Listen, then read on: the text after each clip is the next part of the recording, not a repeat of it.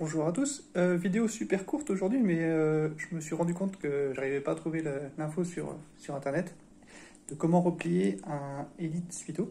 Donc, je vais montrer vite fait comment euh, marche le mécanisme et donc comment faire et pour les gens qui se poseraient la question pour ranger ça, vu qu'il prend très peu de place, c'est un peu l'intérêt un des intérêts de ce home trainer. Donc je vous montre ça tout de suite. En fait, si on regarde le, home trainer de côté, voilà à quoi ça ressemble. En fait, le, pied est déplié et on peut pas, il est fixé, on peut pas le bouger et ça assure sa stabilité. Mais pourquoi? Et en fait, il y a une petite pièce ici et euh, qu'il faut penser à lever parce qu'en fait, si on regarde en détail, en fait, si on se penche et qu'on regarde sous le home trainer, on se rend compte en fait que la petite partie plastique ici qui est au sommet, si on la lève, c'est relié en fait à la partie métallique qui est en dessous et qui, vient euh, embuter, si on veut,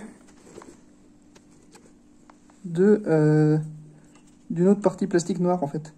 Donc euh, ça sert à rien de forcer vers l'avant, d'essayer de pousser, de pousser la barre vers l'avant, parce que la partie métallique en fait est bloquée par le plastique noir. Donc il faut relever en fait le, le petit capuchon ici noir, ça lève la partie métallique en dessous, et du coup après c'est plus obstrué. Donc voilà, c'est donc euh, simplement pour euh, plier le, le trainer, faut euh, tirer en fait vers le haut sur ce plastique là pour faire remonter la partie métallique. Et vous pouvez ensuite replier votre pied. Et donc pour montrer que ça marche vraiment comme ça, voilà, je me mets ici. Bon, c'est un peu impressionnant le bruit que ça fait.